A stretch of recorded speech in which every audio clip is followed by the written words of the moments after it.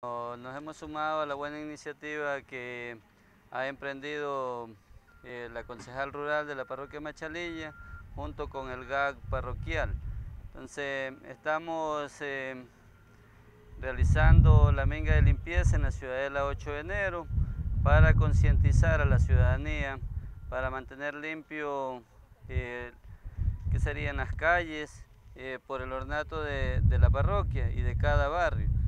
Entonces estamos en conjunto emprendiendo con todas las instituciones eh, y moradores de la ciudadanía de, la localidad para poder eh, realizar este tipo de... Le pedimos que, tomen conciencia porque el pueblo más limpio no es el que, se lo, limpia continuamente, es el que menos ensucia.